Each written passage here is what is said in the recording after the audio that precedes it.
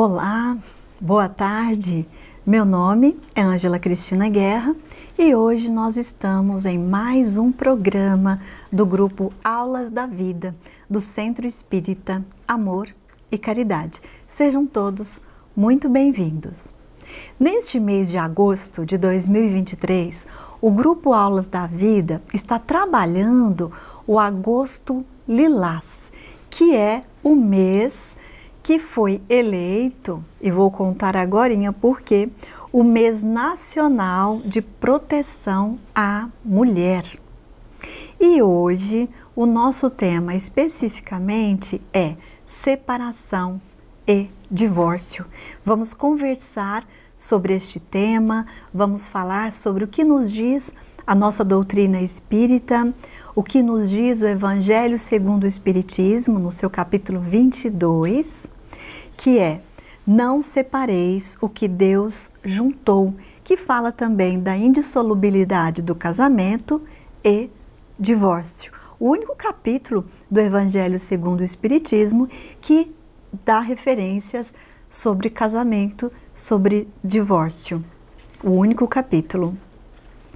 E por que também vamos comentar existe e como surgiu o que deu origem ao mês nacional de proteção à mulher, o agosto lilás. Siga comigo e vamos refletir sobre isso e fazermos juntos o nosso próprio conceito, as nossas próprias reflexões sobre esse tema que é às vezes muito às vezes a gente fica muito inseguro, né, de falar sobre isso, porque nós achamos que tanto a igreja quanto as demais religiões, como quanto o espiritismo seria contra uma separação ou um divórcio. Mas nós vamos ver o que realmente a doutrina espírita nos fala sobre isto.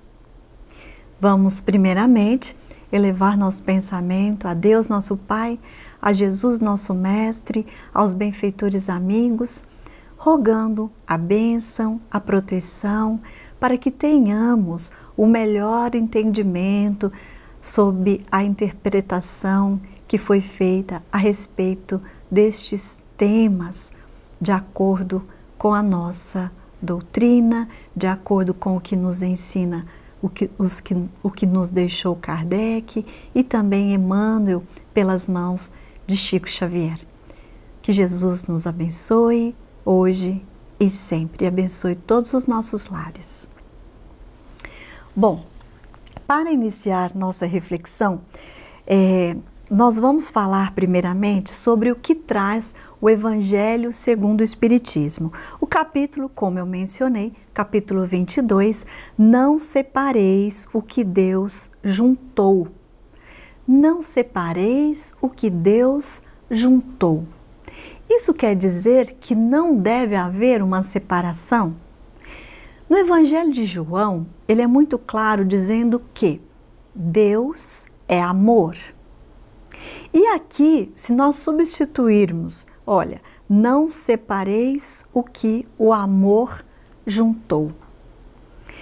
Toda união, todo casamento, todo processo de, de união entre casais que é, que tem origem, o amor, o verdadeiro amor, não há separação. Então é exatamente sobre isso. Não separeis o que o amor juntou. Continuando, todo o capítulo, Allan Kardec abre com uma passagem bíblica. E neste especialmente, ele tem uma, ele coloca uma passagem onde os fariseus conversam com Jesus e fazem uma pergunta a ele. Vamos acompanhar.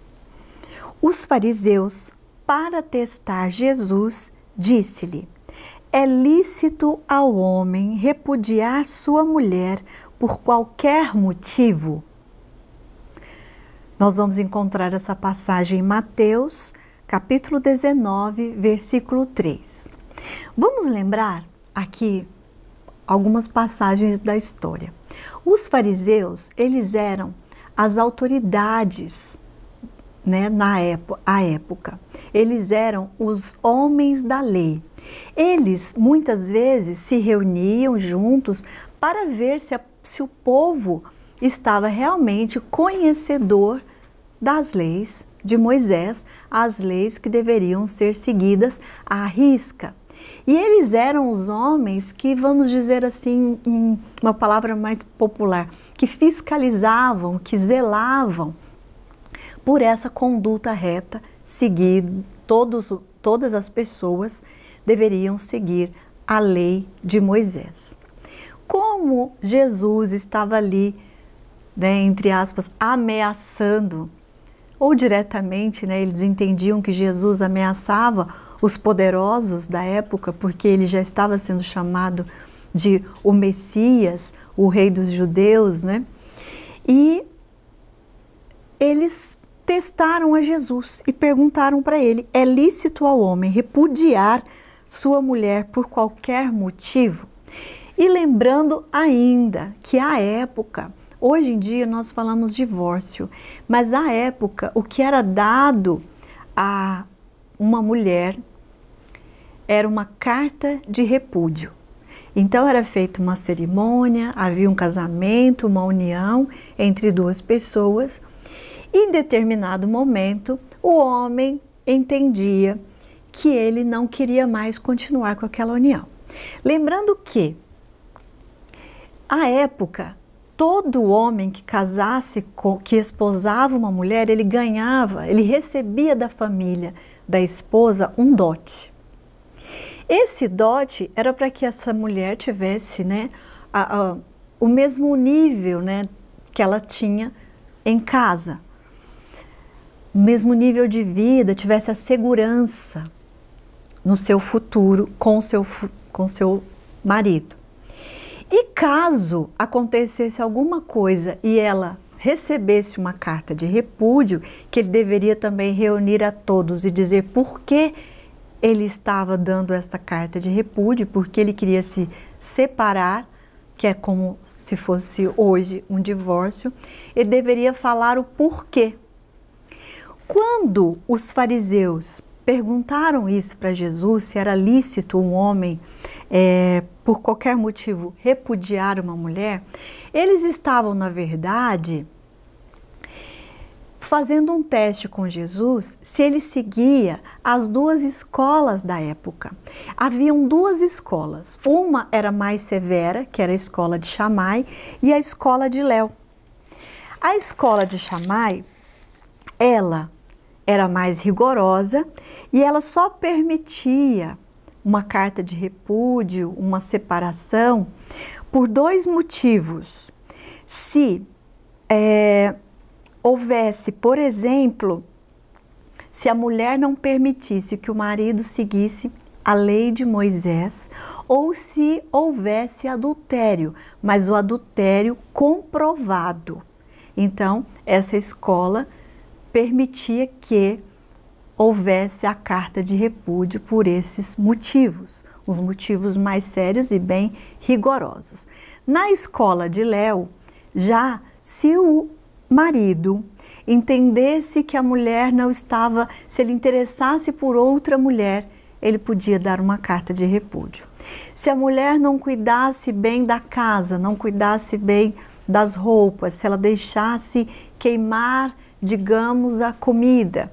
Se ele se irritasse com a mulher por algum motivo, ele, se, seguidores dessa escola de Léo, poderiam dar a esta mulher uma carta de repúdio.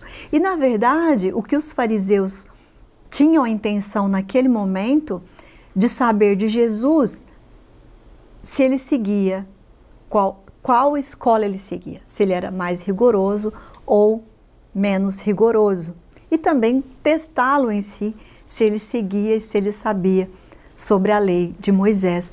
E Jesus, ele foi mais longe, porque as leis mais antigas, elas eram mais é, respeitadas ainda. E ele busca em Gênesis, no capítulo 1, versículo 27, Não vedes o que Deus criou? Ele criou o homem e a mulher, não é? E ele para que eles ficassem juntos. E ele lembra também sobre o adultério, que o adultério, se comprovado, poderia sim gerar essa, digamos, essa condição de separação do marido e da esposa. Então, Jesus responde exatamente o seguinte. Vamos buscar a resposta de Jesus. Foi por causa da dureza do vosso coração que Moisés vos permitiu devolver vossas mulheres, mas isso não foi desde o princípio. Foi por causa da pureza de da dureza de vosso coração. Por ser muito rígido, os homens, é, Moisés permitiu isso, e lembra também dessa rigidez, né, dessa dureza, que seria também uma das, uh, das mazelas do mundo, que é o orgulho, que é o egoísmo. E aqui no Evangelho segundo o Espiritismo, quando Jesus fala assim, ó, é, mas não foi sempre assim, não foi desde o início. Porque na origem da humanidade não foi assim. Ele quis dizer o seguinte: quer dizer que na origem da humanidade, quando os homens não estavam ainda pervertidos pelo egoísmo e pelo orgulho e viviam segundo a lei de Deus, as uniões fundadas sobre a simpatia e não sobre a vaidade ou a ambição não davam lugar ao repúdio, porque nós todos como ele lembra do princípio da humanidade, fomos criados para o amor, para viver Deus. Por isso que é falado, né? Não separeis o que Deus juntou, não separeis o que o amor juntou. E com o passar do tempo, aconteceu isso que ele disse. Na origem, todos estavam bem, não estavam ainda pervertidos pelo orgulho, pelo egoísmo, não estavam sendo tão vaidosos ou ambiciosos. E isso dá origem a muitas e muitos casos de motivações para separações, inclusive nos dias de hoje. Daqui a pouco nós voltamos a essa parte.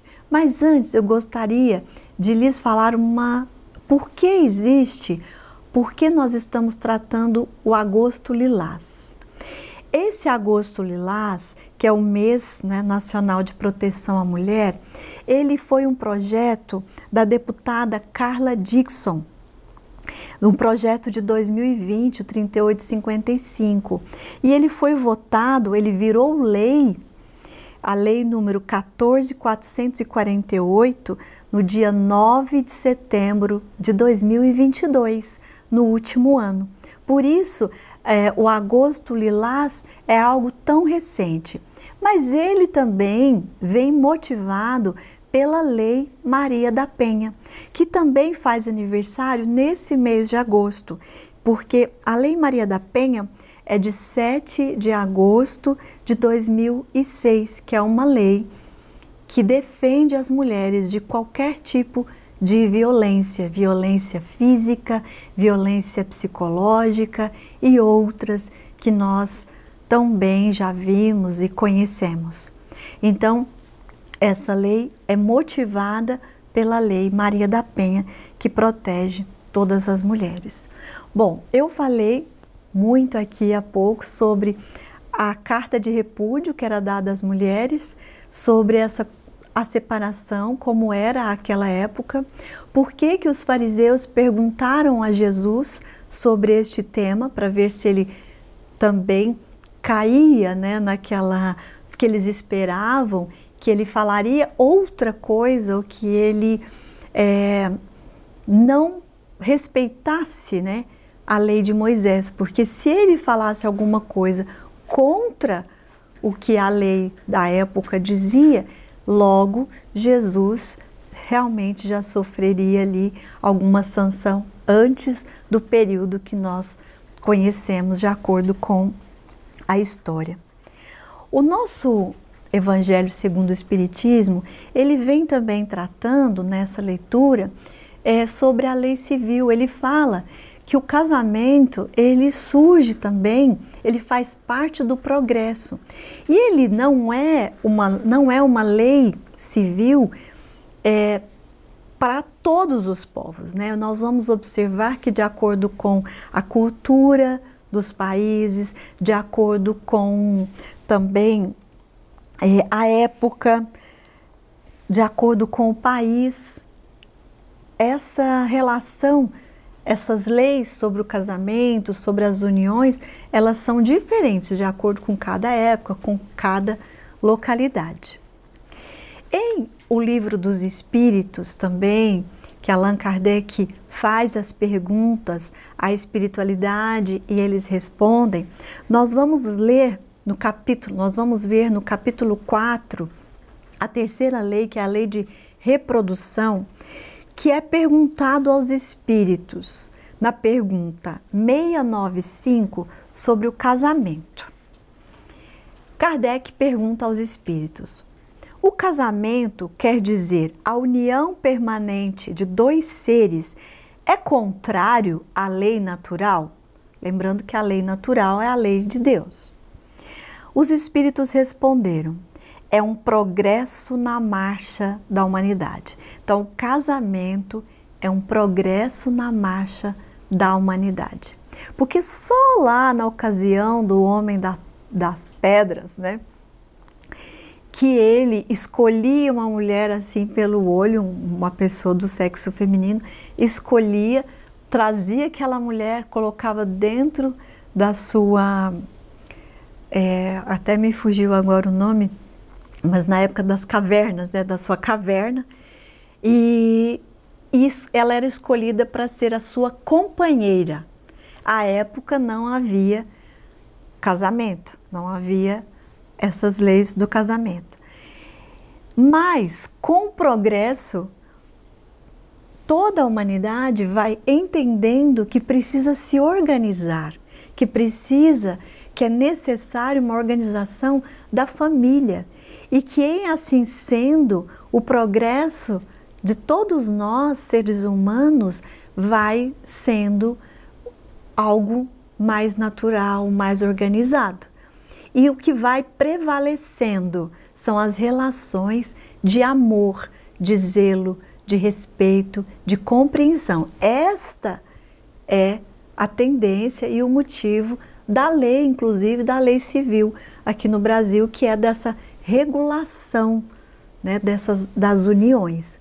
Porque senão seria realmente, na nosso, no nosso entendimento e conhecimento aqui no nosso país, nós estamos dizendo, viraria algo muito desorganizado.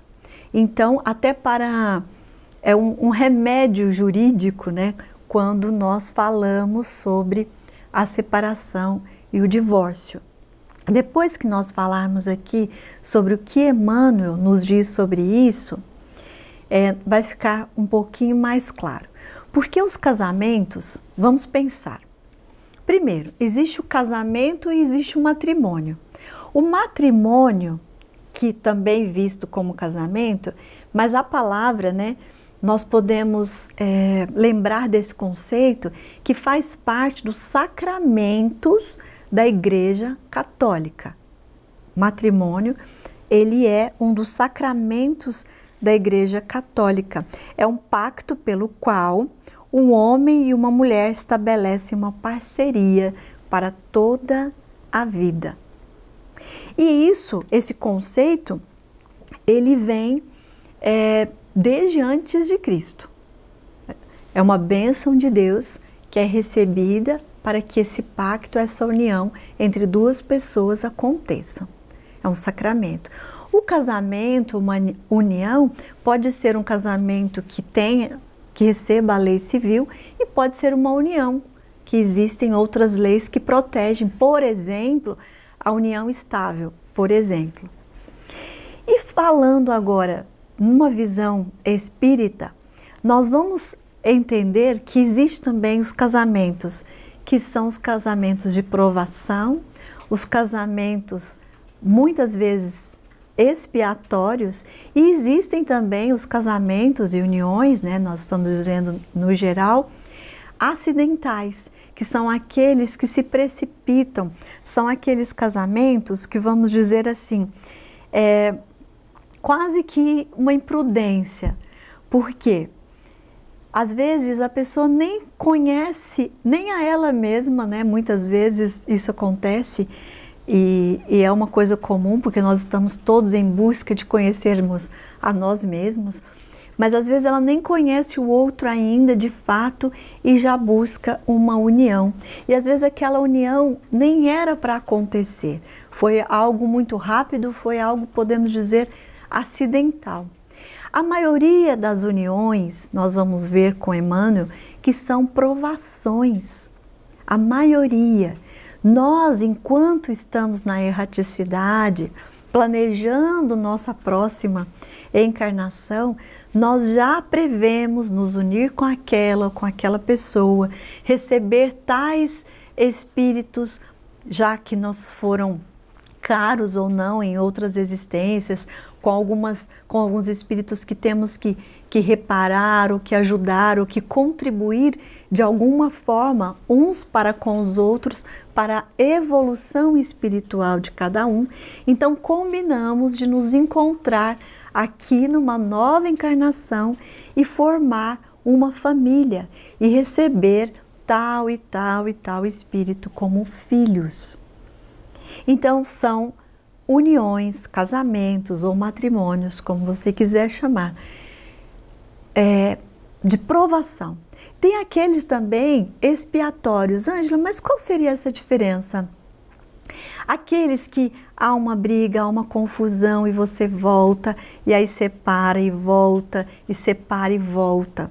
E quem nunca viu algum casal, ou uma esposa, ou um marido dizer assim: Ah, com o conhecimento da doutrina que eu tenho, vou conviver com essa pessoa até o limite, porque eu não quero voltar com essa pessoa numa próxima encarnação. Não quero ver nunca mais, então vou ver se aguento tudo nessa vida mesmo.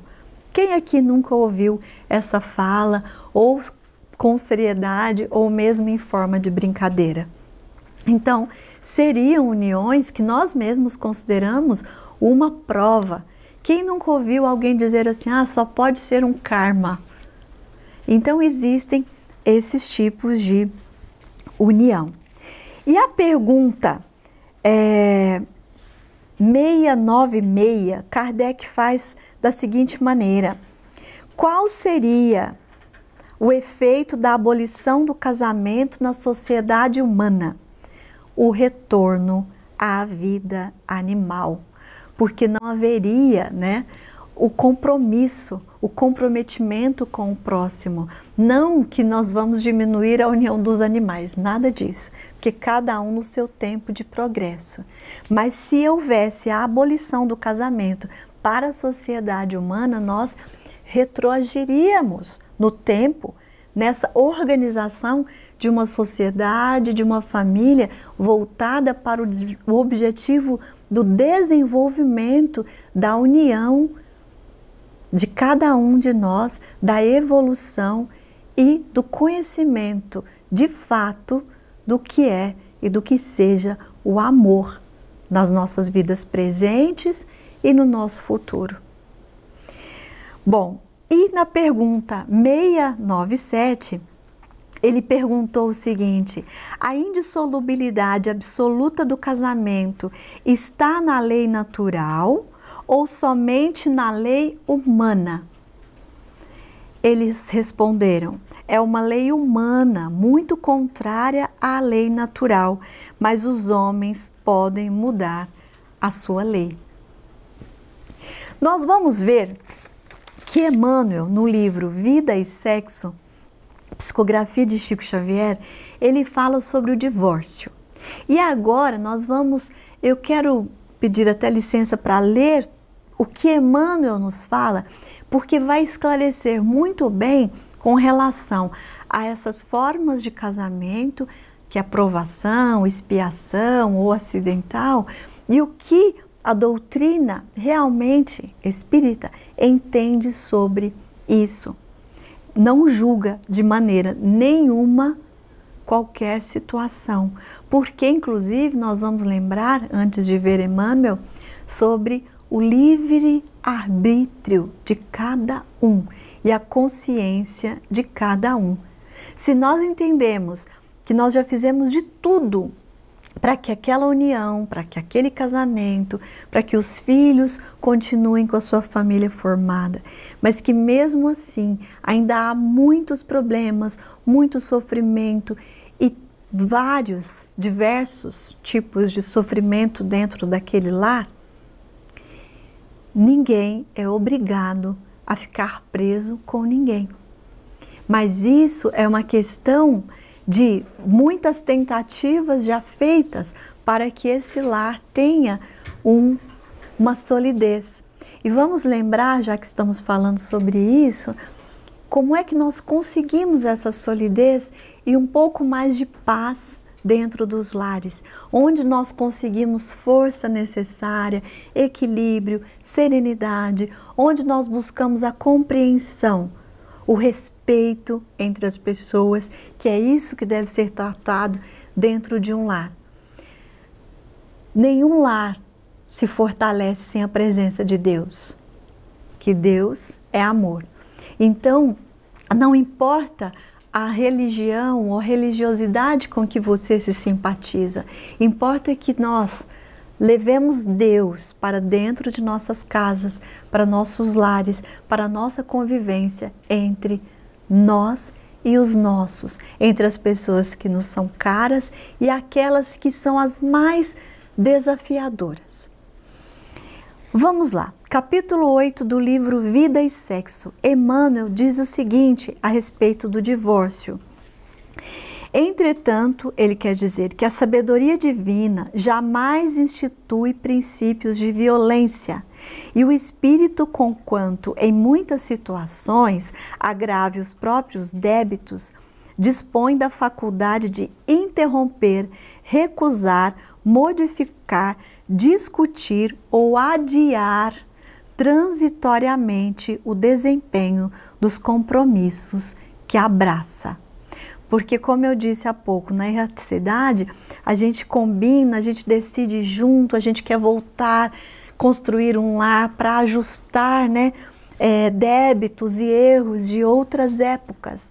E quando nós chegamos aqui, nós estamos num mundo onde há muitas formas de ver esse mundo, muitas tentações, digamos assim, muitas vezes muita porta larga e nós esquecemos de focar no nosso compromisso, que seria de reparação e de uma construção de um lar.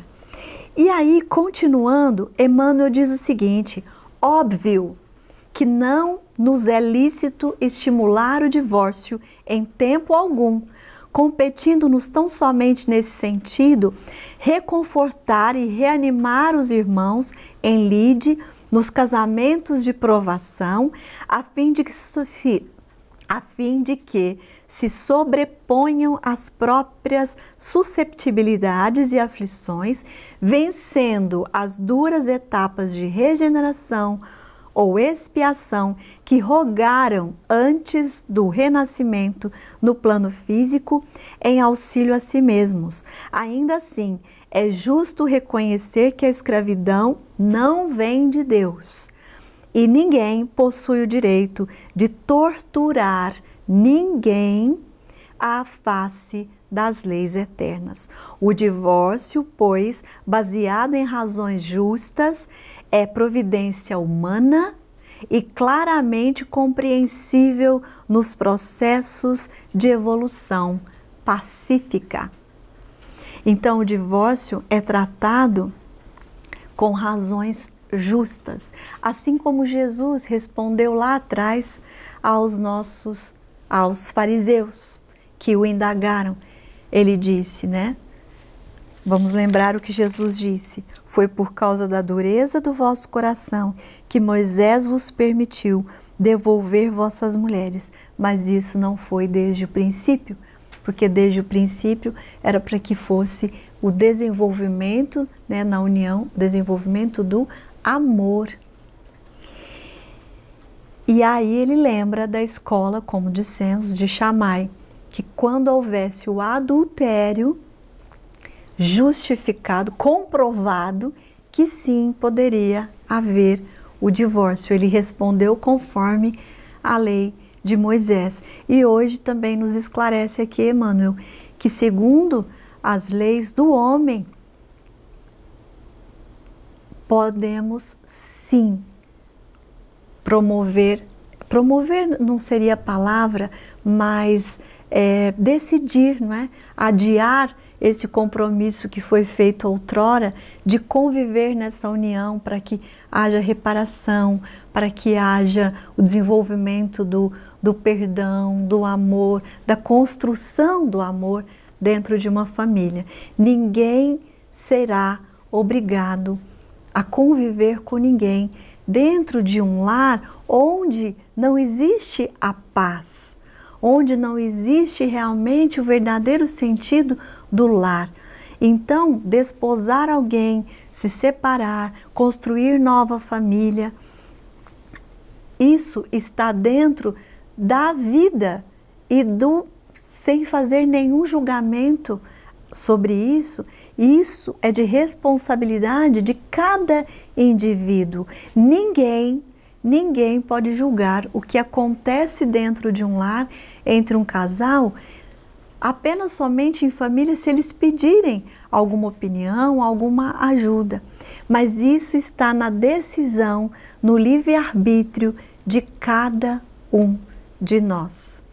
Então não há julgamento, não há condenação, não há nenhum tipo de preconceito. Antigamente, sim, que uma mulher, né, na época do Cristo, que, que é, passava pelo adultério, que ela lembram que ela tinha que ser lapidada pela lei de Moisés? A mulher seria lapidada. E quando ela tinha essa carta de repúdio, que hoje seria o divórcio, ela era devolvida, mas nunca voltava a ser mais a mesma pessoa, ou a família também não aceitava. Então, graças ao bom Deus, isso não existe mais. O progresso aconteceu, nós hoje temos nova consciência, temos nova visão sobre tudo isso, continuamos tendo cada vez mais liberdade. E lembrando o mês de agosto, o mês nacional de proteção às mulheres. Hoje, segundo pesquisa, 70% dos divórcios são solicitados pela mulher. Olha só a diferença. Há um tempo atrás, a mulher era, não era considerada, a mulher não tinha voz. E hoje, quando ela vê que aquela união, aquele casamento saiu dos trilhos né, que deveriam é, trilhar, que deveriam trilhar né, o caminho da paz, do amor, da família, ela mesma toma a atitude de se proteger e de conduzir a sua vida, a vida da sua família da melhor maneira possível. Nós, ninguém quer que haja uma separação. Ninguém se une ou se casa ou passa por um matrimônio para se separar. Isso acontece com o passar do tempo por diversos motivos. E por isso eu quero lembrar, para finalizar a nossa reflexão, que nós possamos sempre nunca fazer nada de cabeça quente, nunca responder nada, nem tomar decisões quando estamos muito felizes ou quando estamos muito tristes ou com raiva ou encolerizados. Devemos ter equilíbrio, buscar sempre Deus.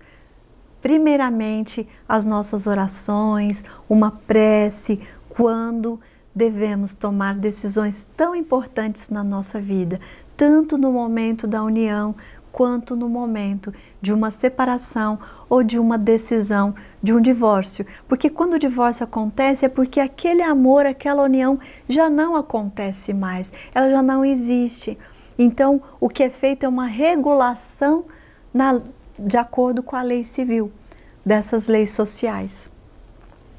Então, com essa reflexão, nós vamos encerrar a nossa conversa de hoje, agradecendo a todos vocês pela companhia e que nós recomendamos seja lido o Evangelho segundo o Espiritismo, no seu capítulo 22, e essas questões também da lei de reprodução, se por acaso nós passamos por ela de maneira mais rápida, mais resumida, sugerimos que sejam refeitas as perguntas, vistas, né?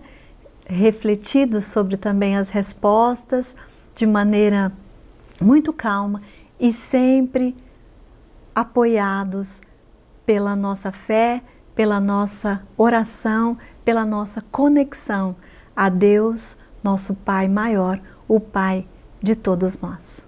Que Jesus abençoe a todos os lares, a todos vocês que estão acompanhando e que abençoe hoje e sempre todas as famílias. Jesus nos abençoe.